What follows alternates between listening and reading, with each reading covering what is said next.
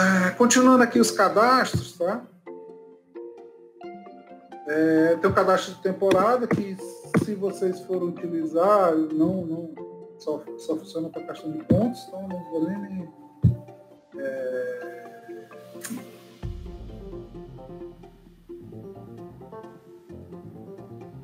entrar A questão do brinde, tá? Aqui que você cadastra os brindes, tá? Quais são os brindes que você vai poder disponibilizar para aparecer lá na tela de venda, tá? E o controle de brindes é feito aqui, na operação, tá? Você pode fazer uma entrada, uma movimentação e ter um controle de todos os brindes que foram utilizados nos atendimentos, tá?